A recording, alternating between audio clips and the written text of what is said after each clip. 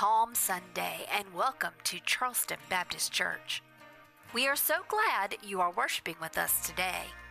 At this time, we ask that you direct your attention to the video screens for this week's highlighted announcements. This month's mission and prayer focus is the North American Mission Board Annie Armstrong Easter offering. This month, we ask that you pray for North American missionaries as they spread the gospel, plant churches, equip and disciple believers, and minister to communities in need. If you would like to learn more about North American missions, please visit the Next Steps page on the church website. Or if you choose to give, please designate your offering to Annie Armstrong or NAMB. The Charleston Baptist Easter services continue this week. Our Good Friday Lord's Supper service is Friday, March 29th at 6:30 p.m. and our Easter services will be held at our regular service times of 9:15 and 11 a.m. On Easter Sunday, we're expecting a higher than normal attendance, so we recommend that you arrive early. And once again, we welcome you to Charleston Baptist Church. If you are a first time guest, we would love to connect with you. We invite you to stop by the Next Steps desk in the main lobby after the service so that we can meet you and give you a welcome gift. And that is all of our highlighted announcements this week. Our worship service will begin shortly. We hope you have a blessed week and pray that we will see you again next Sunday, if not before.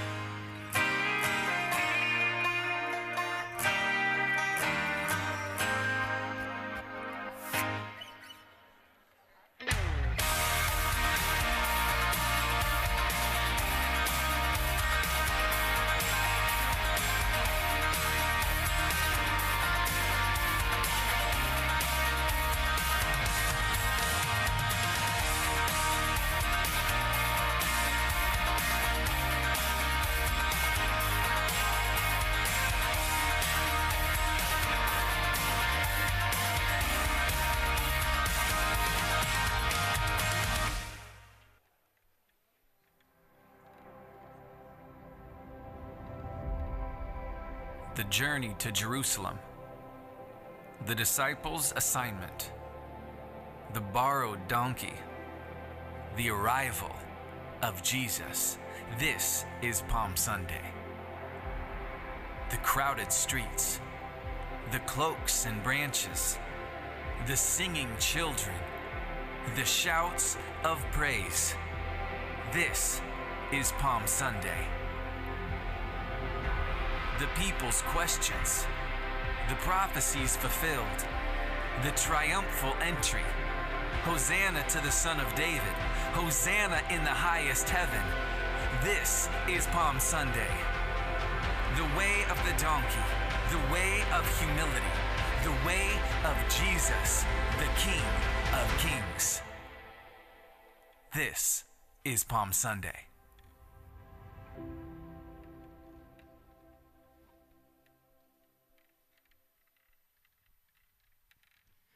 Well, good morning, everyone. It's good to be together this morning. Let's stand together as we begin this Palm Sunday morning worshiping the Lord, singing together. Shout, Hosanna.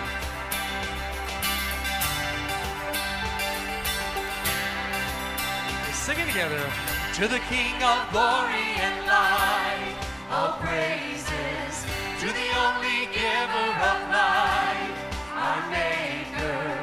The gates are open wide worship you. Come see what love has done. Amazing. He bought us with his blood. Our Savior, the cross has overcome. We worship you. We worship you.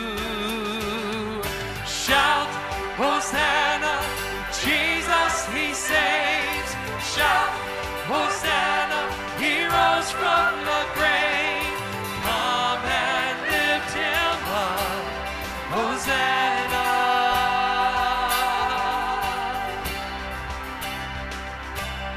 Now let the lost be found, forgiven.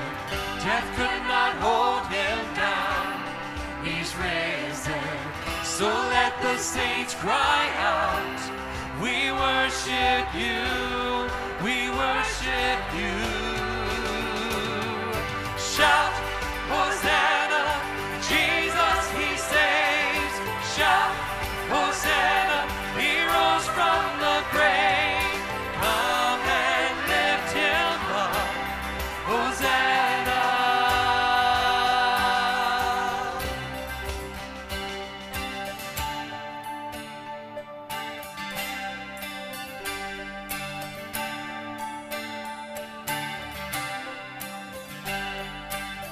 The same power that rolled the stone away, the same power alive in us today.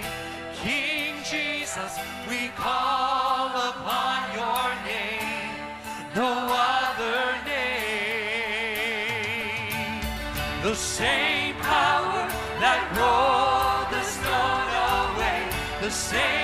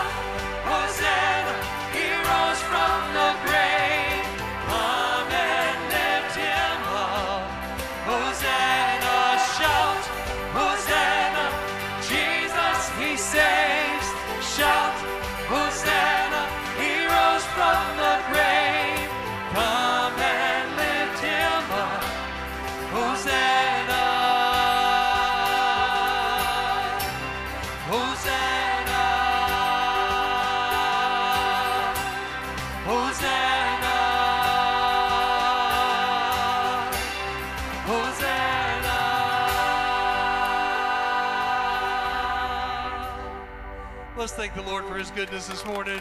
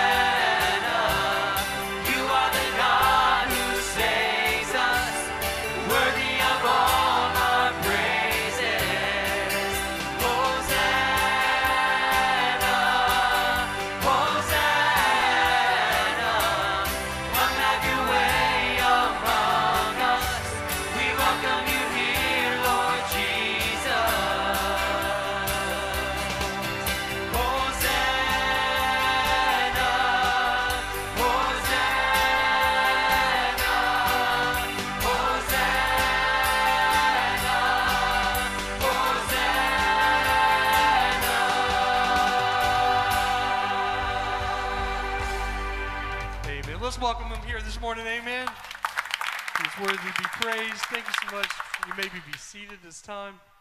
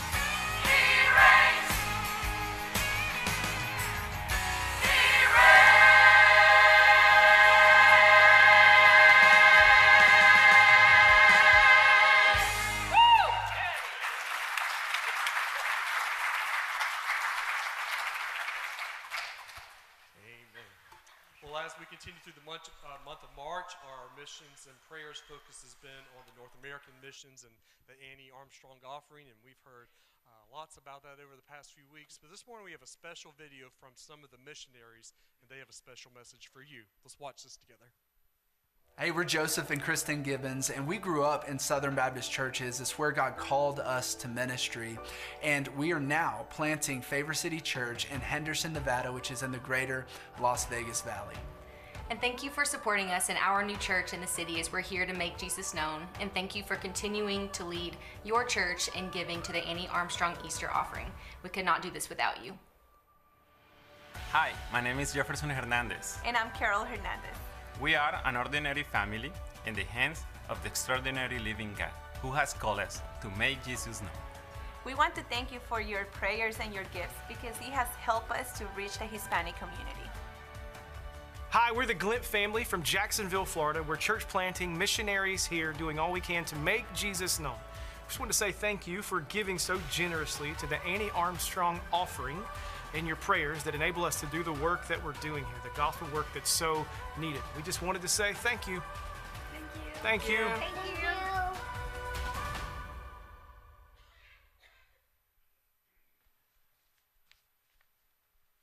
Good morning. I'm Jason Davis. I'm a discipleship pastor here at Charleston Baptist. Thank you for being with us this morning. It's an awesome time to be able to worship together. I just think about uh, the songs we've been able to sing this morning, and particularly the, the last song where it's all about the reign of Christ, and He is victorious. He is the King of Kings and the Lord of Lords, and we get to worship Him in spirit and truth, and that we get to do that together and lift our voices together. And so I, love how that really relates back into what this offering is all about. Is proclaiming the name of Christ. The Annie Armstrong, the North American mission, we see these uh, we see these missionaries that have gone out into various places that are hard to minister to, difficult regions uh, of our of our uh, the North American uh, area. And, and what we need to do is support them, but also be in prayer for them. That as they go, they do what this, this says right here is proclaim the name, make Jesus known make Jesus known. And we need to ask the, the Lord's favor that they would uh, change the heart of stones into heart of flesh, to do the things that only Jesus can do, only the Lord can do, but that they would be bold in that. But what I want to remind myself and remind all of us is that what they are doing, we do here. What they do there, we also do here is we make Jesus known. Wherever you are, no matter what you do, whether you're at home or in, at work, at church, at the grocery store, where you go shopping, where you love to, to go and play, wherever you are, you make Jesus known. That that is what we are called to do. We are all going on this mission. And there are some that have a spe- specific task, but all of us right here in Charleston Baptist, we are to proclaim the name of Christ. We are to make his name known. We are to make Jesus known in our own homes, all everywhere we go.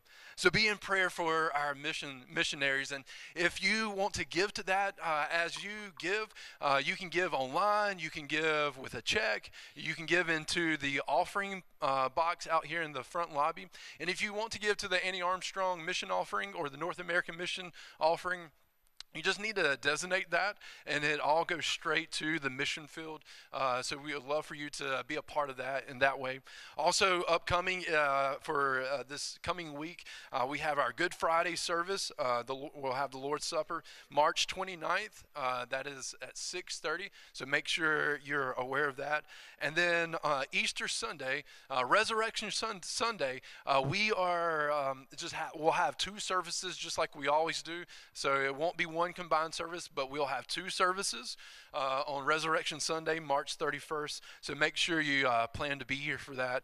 And what a glorious time. Invite somebody to come with you to share about what, what we truly are about the resurrection of Christ, the one who conquered sin and death, that he is the King of Kings, and that we are to proclaim his name and make him known.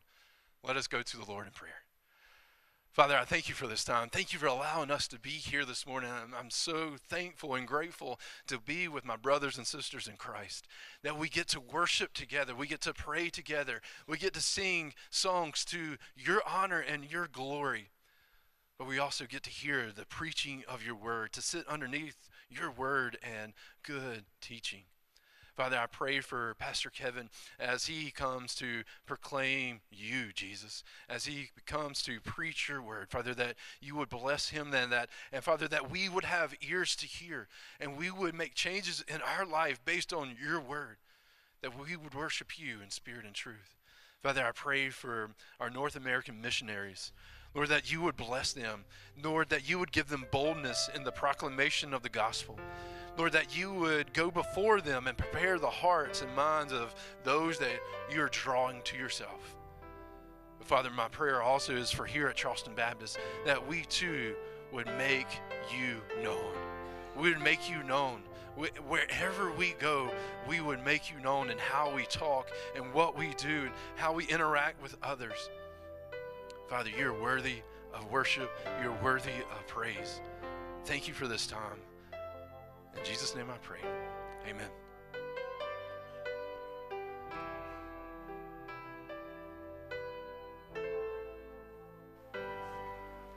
A thousand generations falling down in worship to sing the song of ages to the Lamb. And all who've gone before us and all who will believe will sing the song of ages to the Lamb. Your name is the highest, your name is the greatest, your name stands above them all. All thrones and dominions, all powers and positions, your name stands above them all, and the angels cry, Holy,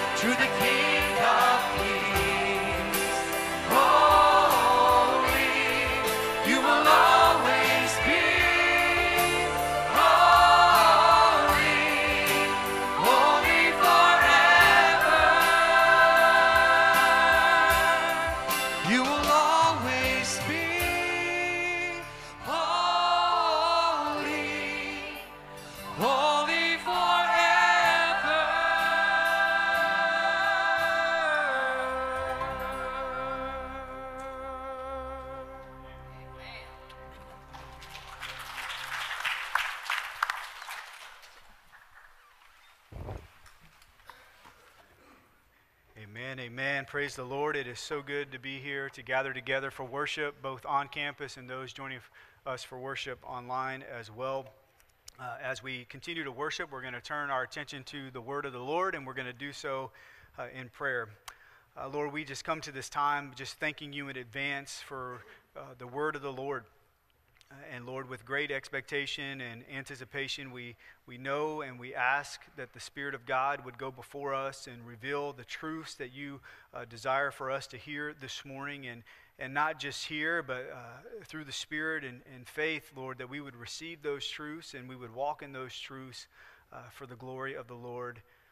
Lord, we ask and, and praise you for who you are and what you've come to accomplish and what you continue to do uh, today. Lord, you are worthy of all praise. In Jesus' name we pray. Amen. Amen. If you would open your Bibles to Mark chapter 11, Mark chapter 11. Uh, specifically, we're going to be looking at verses 1 through 11 this morning. If you're joining with us on campus and you do not have a copy of God's Word, I would encourage you to look underneath the seat in front of you or underneath the, the seat that you're sitting in. There should be a blue Bible there. I would encourage you to take that Bible, open up to page 939. Uh, 939. Uh, we're going to pause just a little bit uh, uh, through our teachings a study that we're doing through the book of Ecclesiastes on Sunday mornings, and we're going to focus specifically on uh, the events of this week. Uh, oftentimes it's called uh, the Passion Week, it's the, the events from Palm Sunday, Good Friday, and Easter Sunday. Uh, this week uh, is really an amazing week. Uh, it's a remarkable week in, in many ways. these events are recorded to some degree, perspective, in all accounts of the gospel when you think about Matthew, Mark, Luke, and John. And when you think about how remarkable this week is, uh, in, in, comparison, uh, looking at those Gospels, a, a, third to a half of all those writings are committed to just this one week. And so that is very, very uh, significant for us. And so when we think about what this week entails and what it includes, uh, we think about words like joy and grief, life and death, hope and confusion, doubt and destruction, shouting and silence, arrests and freedom, the breaking of bread and betrayal, a walk in the garden, a climb to Calvary, the coldness of death, the warmth of victory, prayer and praise, running and walking, peace and piercing, whispers and whippings, embracing and abandonment.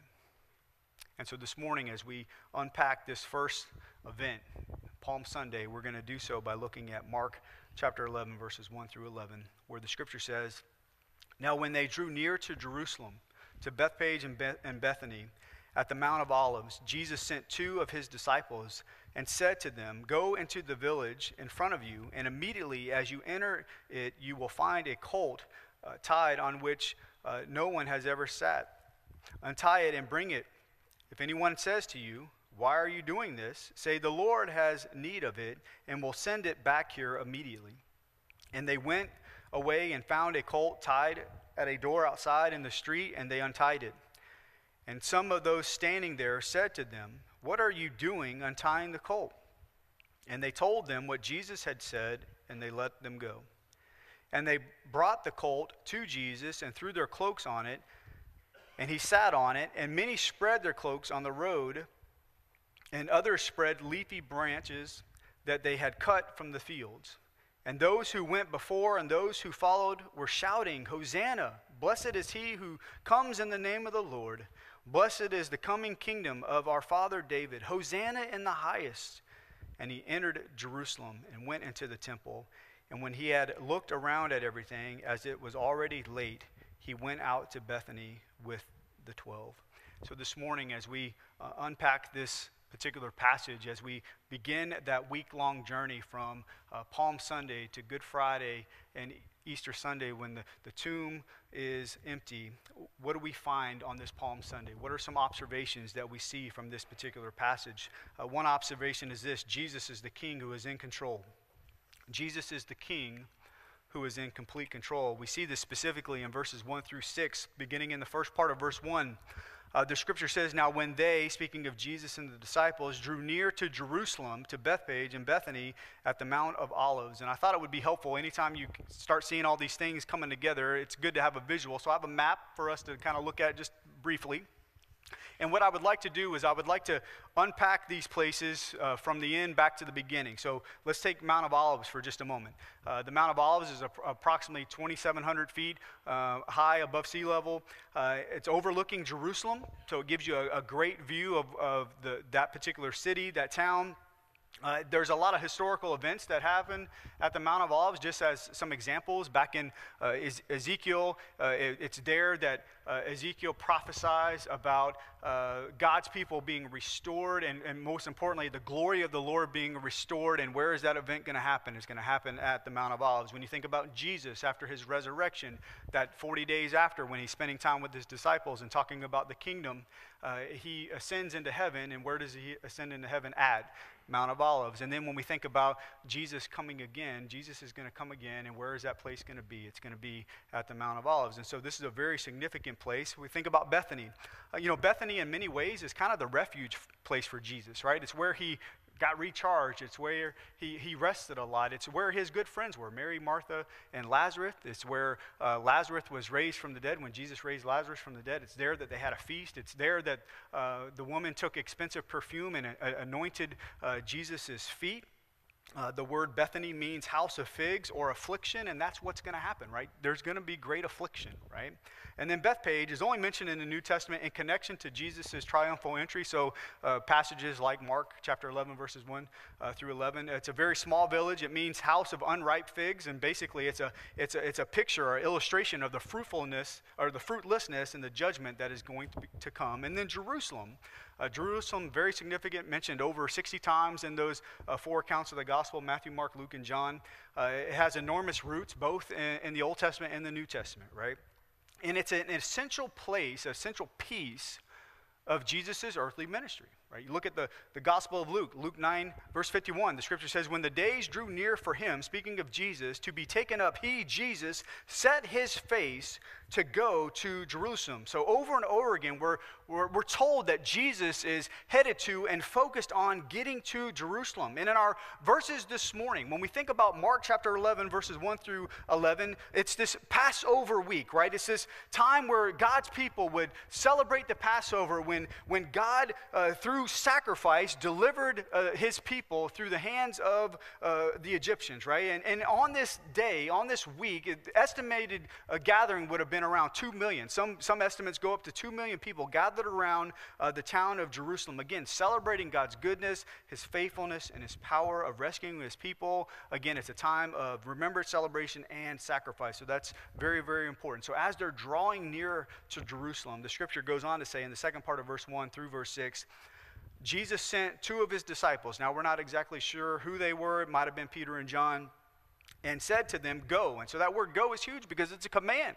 So Jesus is not giving a suggestion, he's given a command. Go into the village in front of you, and immediately as you enter it, you will find a colt or a donkey tied eh, on which no one has ever sat. So this this colt, this donkey that you're going to find is going to be one that only is going to be given to the king, right? This is very very significant. Uh, untie it and bring it. If anyone says to you, "Why are you doing this?" say, "The Lord has need of it." And we'll send it back here immediately. Now, put yourself in the disciples' shoes for just a moment, or sandals, depending on how you want to look at it. And you get that kind of command. Are you going to go do it? You probably got a lot of questions, right? Uh, I would have a lot of questions too, but notice what happens in verse 4. And they went away. That, that phrase there, went away, is, is interesting because it talks about uh, walking a windy path, right? So this isn't just a straight shot. This is, this is a windy path that they're walking through. And the scripture says, and found a colt tied at a door outside in the street, and they untied it. And some of those standing there said to them, What are you doing untying the colt? And they told them what Jesus had said, and they let them go. Now, there's a lot of questions that come from just these six verses. Like, I mean, is Jesus advocating the stealing of a donkey? Is that what's happening here, right? Uh, uh, another question why, why, is there, why are there six verses dedicated to this donkey, finding this donkey? I think at the end of the day, what we, he, what we see in these verses is that Jesus is in complete control. Uh, Jesus has all knowledge, right? Jesus is being very, very specific in these verses. Uh, Jesus isn't saying, hey guys, you know, go out, call me an Uber ride, and the closest person is going to come pick me up. He doesn't say that. He's not saying, hey, I'm going to go reserve such and such type of car on enterprise.com, and that's what I'm going to ride. No, he, he tells them exactly where to go, what they're going to find, what they're going to say, and how they're going to be responded to, right? Very, very detailed. Uh, Jesus is also fulfilling prophecy. You might be wondering, how, what is the connection between this donkey and Jesus, the Messiah? Well, we get the first indication of this back in Genesis, Genesis uh, chapter 49, when Jacob is giving prophetic blessings over his sons, and specifically to Judah, right?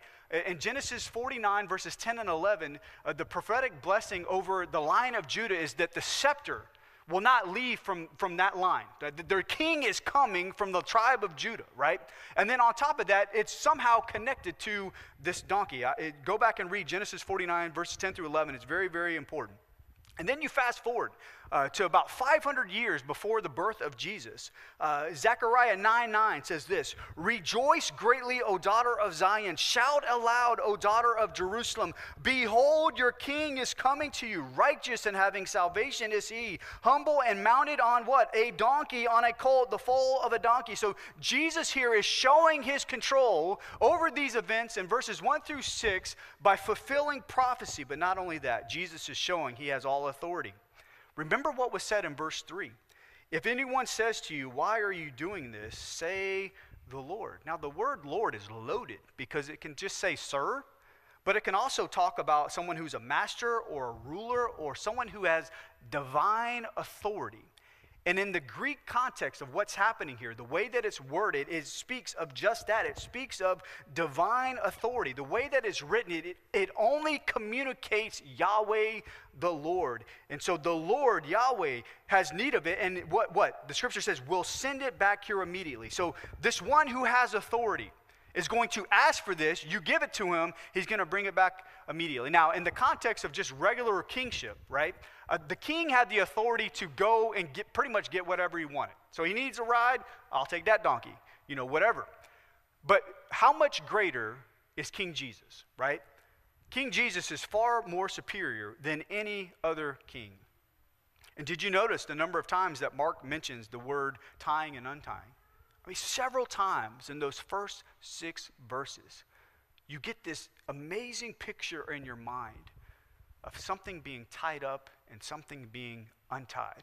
What an amazing picture. Jesus is setting the agenda, right? Now, the question is why is this so, so important? I think it's important because the disciples need to know this because in a matter of days, Jesus will be arrested, he will be tried, he will be beaten and he will be crucified on the cross. And even in those moments, guess what? Jesus is still in control. Remember what Jesus said earlier on in his ministry in John 10, verse 18. He says, No one takes, takes it, the it here is his life. No one takes his life from me, but I lay it down on my own accord. I have authority to, to lay it down, and I have authority to take it up again. This charge I have received from my Father. And then when you get towards the end, right before Jesus is going to be crucified. Right? Jesus is standing before Pontius Pilate. And in that moment, everybody thinks the person that has control of this situation is who? Pontius Pilate. And listen to what happens in John 19, verses 10 and 11. So Pilate said to him, You will not speak to me? Do you not know that I have authority to release you and authority to crucify you? Do you hear what he's saying? Jesus, the very person that can set you free or have you killed, is me. And you're not going to speak to me? I, I love the movie Gladiator. And it's like those moments when uh, everybody stands up and Caesar, Caesar's doing this. He's got his little thumb. And if it's down, you're dead. If it's up, you stay alive. That's kind of the moment here. And I love what Jesus says. What does Jesus say? Jesus answered him, You would have no authority over me at all unless it had been given from above. Man, so when you think about the events of Palm Sunday, Good Friday, Easter Sunday, it's important for us to remember that Jesus is no victim. He has 100% control, right? Think about the scripture in Matthew 20, verses 17 through 19.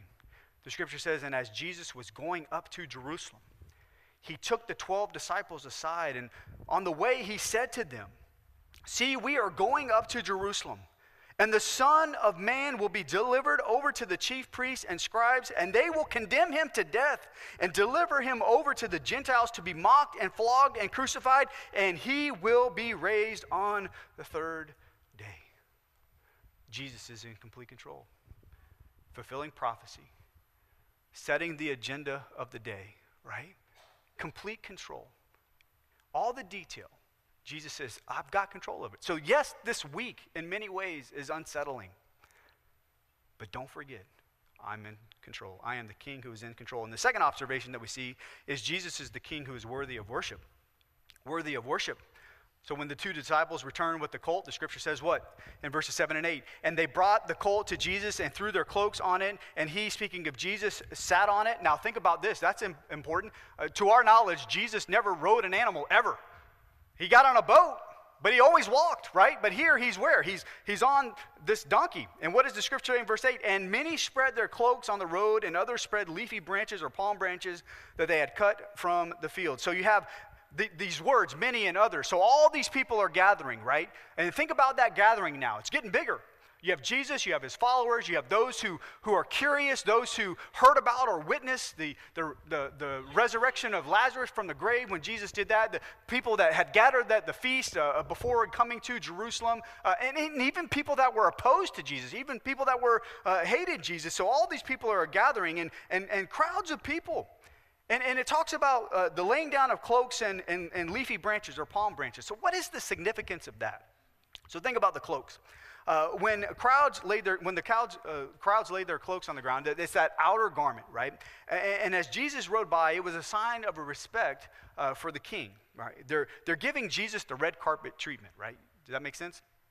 Now, this, this goes back to uh, what happens in 2 Kings chapter 9. In 2 Kings chapter 9, uh, Jehu is anointed as king. Uh, God raises up Jehu uh, to succeed King Ahab. King Ahab was an evil king, right?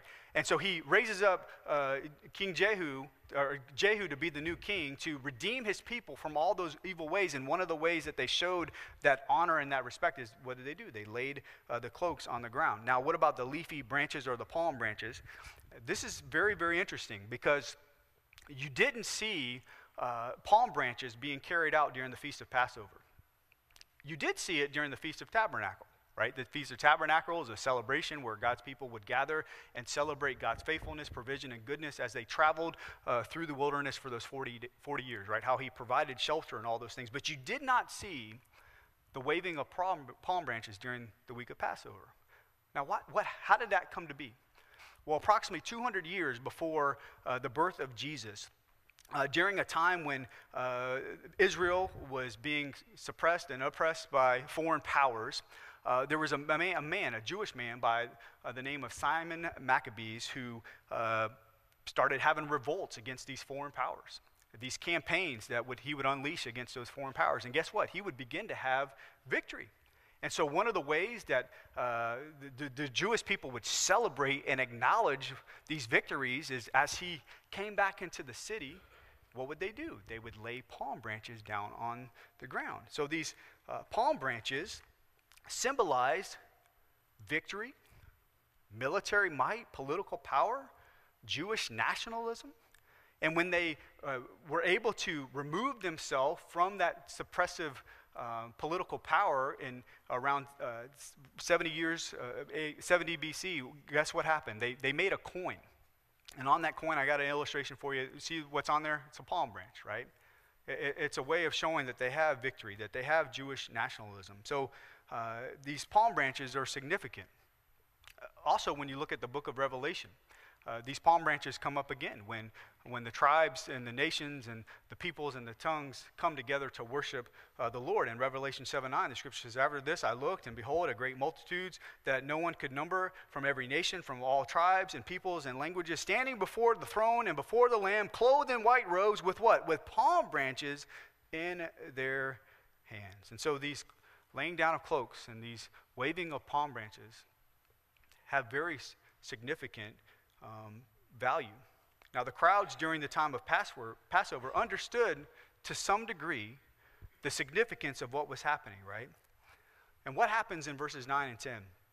the scripture says, and those who went before and those who followed, so talking about these crowds again, what were they doing? They were shouting, Hosanna, blessed is he who comes in the name of the Lord. Now, that phrase there, blessed is he who comes in the name of the Lord, this was only given to the promised Messiah, right? That was the phrase that was given to him. Blessed is the coming kingdom of our father David, Hosanna in the highest. Now, a couple word, a couple thoughts about that word shouting. It's in the continuous uh, action. So it, they continue to shout over and over and over again. Uh, the word shout also uh, communicates a cry so loud that it's startling, right? It's the same word that you, is used to describe the, the shouting that Jesus had when he was on the cross, right? And to kind of give you an illustration of that, if you've been on campus for any length of time, every once in a while you hear a loud shout right? And then you and it startles you, and then you recognize, oh, that's just Pastor Tommy, right? right? I, I, I can't see them, but I can hear them, right? That's the kind of thing that we're talking about here, right? And what are they shouting? They're shouting, Hosanna. It's a plea, a prayer for God to save them. So there's something very right about what's happening. They're worshiping Jesus, right? You go back to the Old Testament, in the book of Psalms, that's what would happen during the time of Passover. There would be a time of worship, and they would sing and they would read Psalm 18, 118, verses 24 and 26, the scripture says this This is the day that the Lord has made. Let us rejoice and be glad in it. Save us, we pray, O Lord. O Lord, we pray, give us success. Blessed is he who comes in the name of the Lord. We bless you from the house of the Lord. What an amazing time of worship. To be reminded of God's deliverance of his people from the hands of the Egyptians. And now they're shouting out the same words, the same song, but not because they're under the hands of the Egyptians, but they're, the, they're beginning to be under the hands of the Romans. So there's no doubt that God's people are looking for the promised king, the one who's going to conquer their enemies. And this is why they shout out in verse 10 Blessed is the coming kingdom of our Father David. They're referring to David. Now that's significant because in 2 Samuel chapter 7, God made a covenant with David, a promise to David. So they're going back to that covenant. They're going back to that promise. Now, when you think about David being mentioned in the Gospel of Mark, the last time that David is mentioned in the, the Gospel of Mark is in the context of Jesus healing a man who was blind. And the scripture says this in Mark 10, verse 47 and 48. And when he, speaking of the man who was blind, heard that it was Jesus of Nazareth, he began to cry out and say, Jesus, son of David, have mercy on me. And many rebuked him, telling him to be silent, but he cried out all the more, Son of David, have mercy on me. You see what happens? In Mark 10, the man who is blind recognizes Jesus as the merciful king. And then in Mark 11, the crowds recognize Jesus as the conquering king. The issue is the crowds in Mark 11 are seeing a militant, political, conquering king who will overthrow the Romans on a war horse. That's what they're looking for, right? But Jesus comes as the conquering king, not on a war horse, but what? On a donkey. Not to overthrow the political powers, but to bring what? To bring peace. This is different. Remember, Jesus is the Prince of Peace, right? Listen again to the prophecy that the Lord gave in Zechariah 9, verse 9 now through verse 11. Rejoice greatly, O daughter of Zion. Shout aloud, O daughter of Jerusalem. Behold, what an amazing word. Behold, your king is coming to you. Righteous and having salvation is he, humble and mounted on a donkey, on a colt, the foal of a donkey. I will cut off the chariot from Ephraim and the war horse from Jerusalem, and the battle bow shall be cut off, and he shall speak peace to the nations. He his rule shall be from sea to sea and from the river to the ends of the earth. As for you also, because of the blood of my covenant with you, I will set your prisoners free from the waterless pit. Do you notice in Zechariah 9 how this promised king is described? He is a perfect king. He will rule in righteousness, He will be humble and gentle. He will offer deliverance and salvation. He will not come first on a war horse to enact judgment, but on a donkey to bring peace. Not peace between nations, but be- peace between themselves and their Creator. And how is this going to be done? It's rooted in the blood, the covenant of His blood. Jesus is the King, but not the King they were expecting. What they needed most wasn't liberation or freedom from the Romans. That wasn't their greatest enemy. They were captive to sin, and the judgment to come was God's wrath, right? And Jesus is not the kind of king they thought he was. He's not the kind of king they wanted, but he is the king that they needed. And this king is worthy of all our praise and all our worship. Why? Because there is no king like King Jesus, right?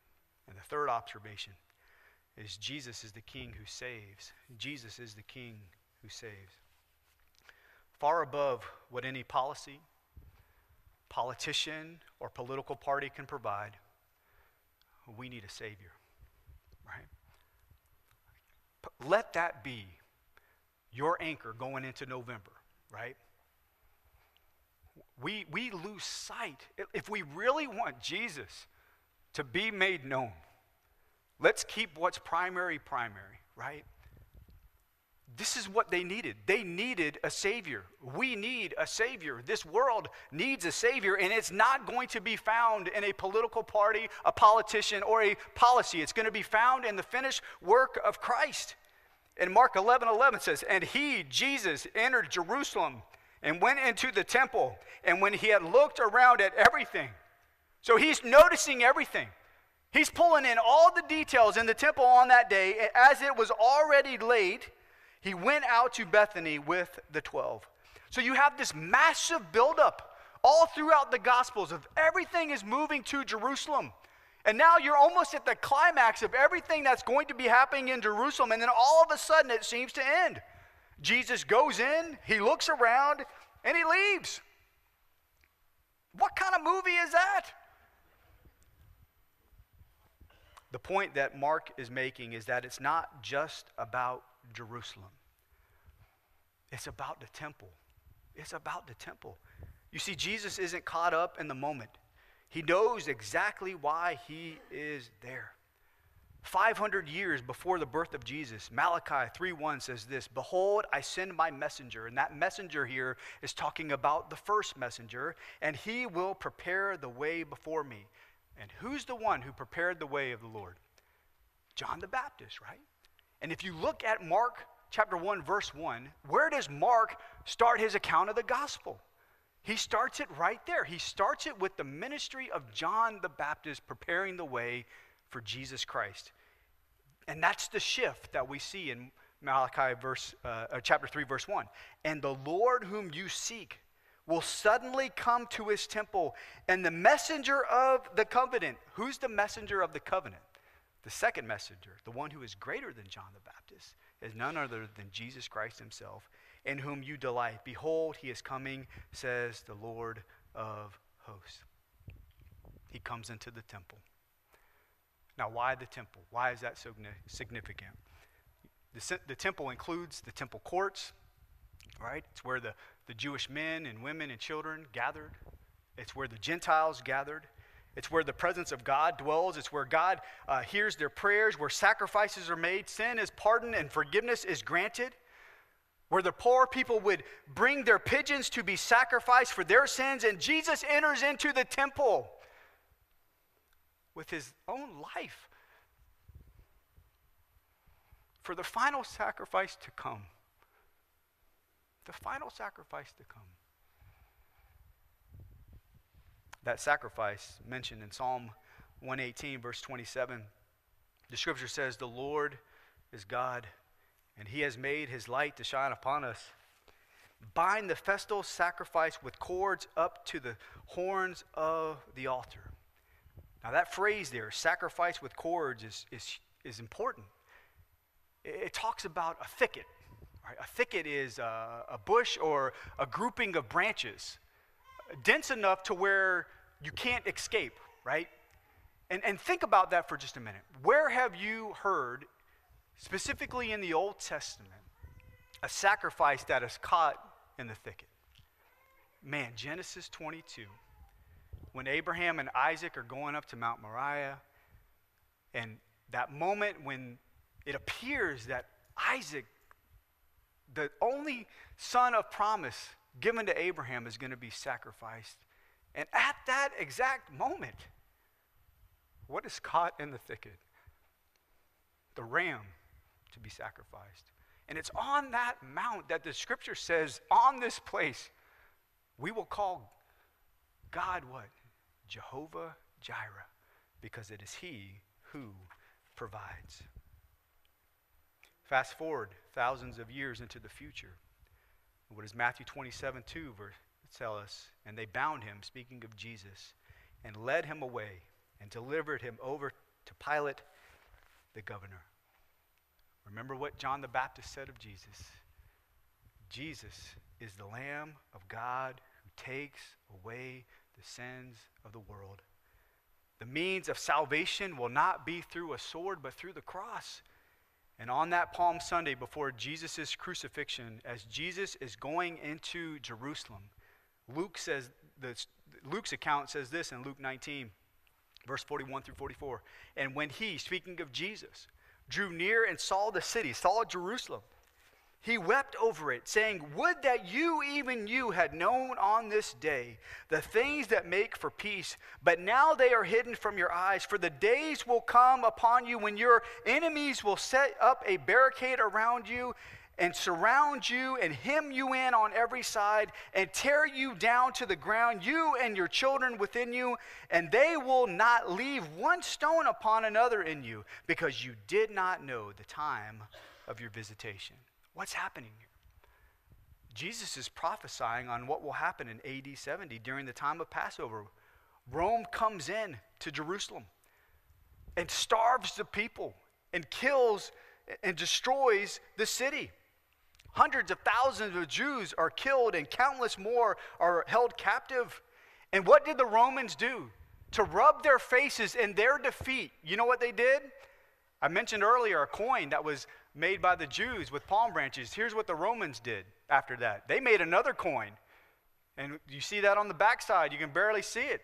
Palm branches again, right? They're rubbing it in their face. What's the point of all this? Jesus is not weeping because of the cross before him, he's weeping because of those who will reject him.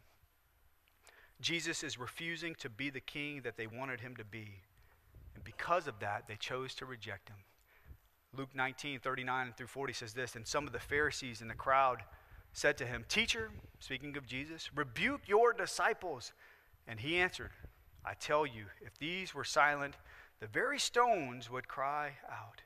So as they're crying out, Hosanna, they're celebrating Jesus. The religious group is saying, Stop it. Tell them to stop. We can't take it anymore. Why? Because they hated Jesus. And Jesus says, Listen, if they stop, creation will cry out, right?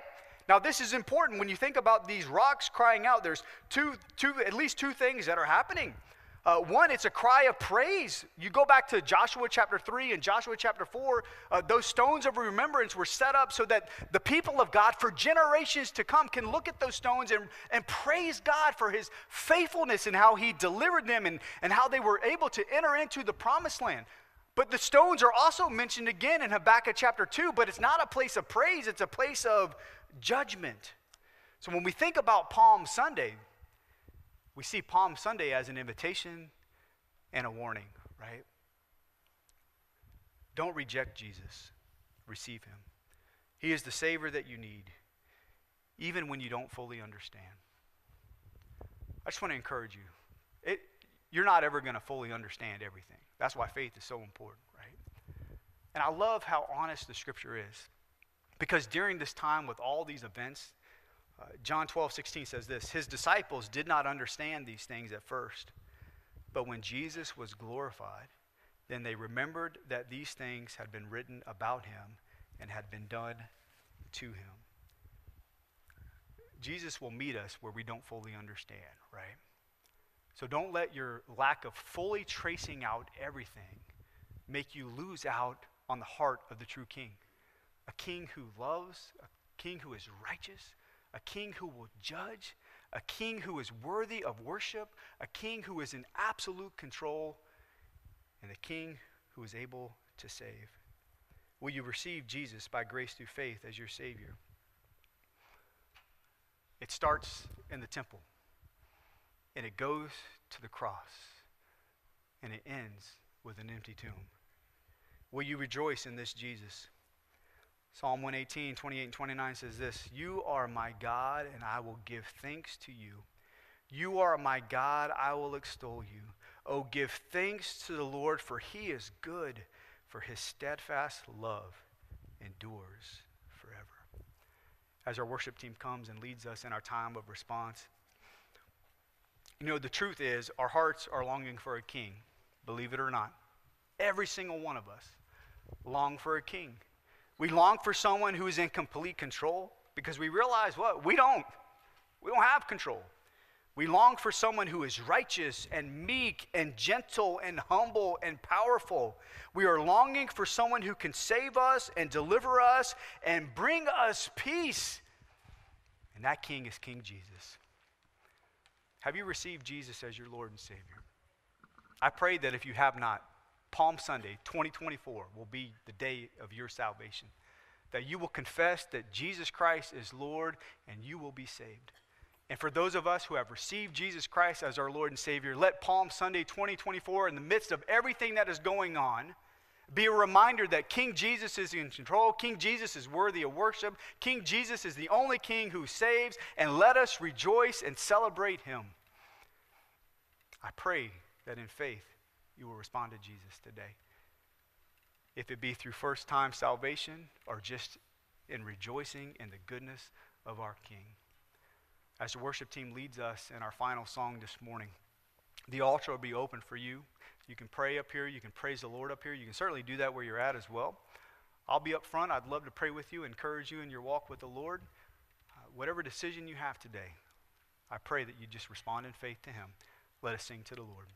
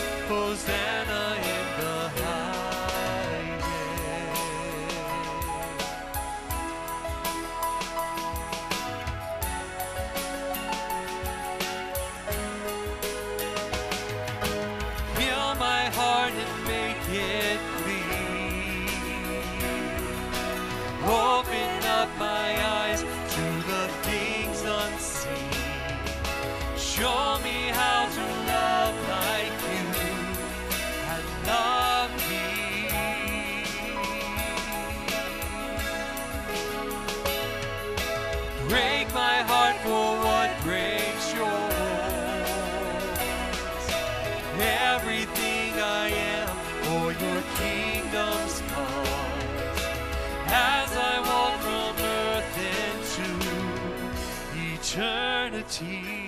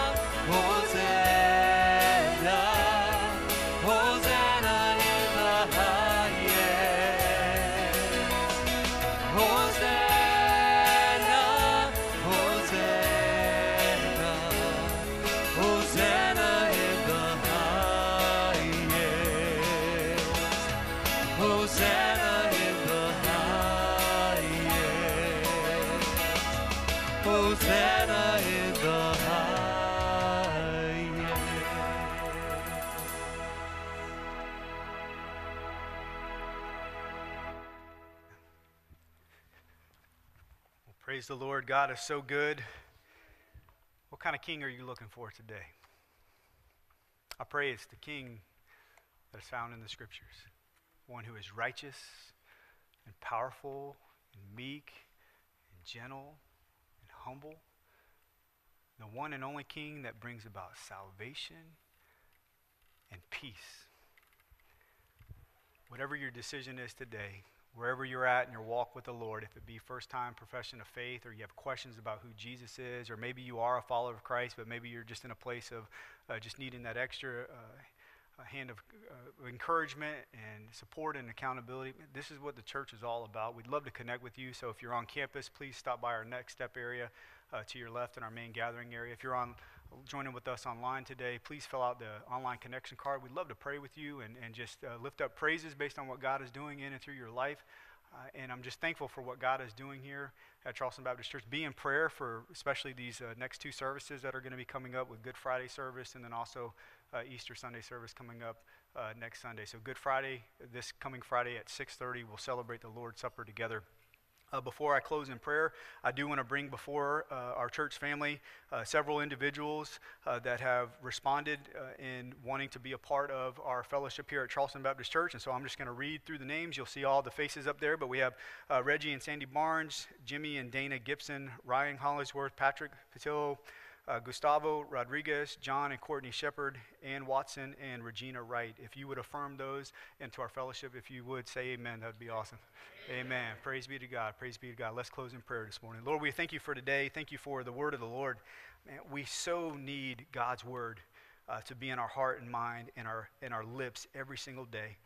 Uh, Lord, as we think about how amazing this week is, uh, Lord, what it means to us uh, in the faith uh, Lord, to be reminded that you are truly in 100% control. You have all authority, all knowledge. Uh, Lord, let that be a reminder to us, not just in salvation, but just the circumstances of life as well. We thank you for the love that is expressed to us through the finished work of Christ. We thank you for the work that the Holy Spirit of God does in and through our lives. Lord, thank you again for your grace and your mercy. In Jesus' name we pray. Amen. Amen. You have a blessed day.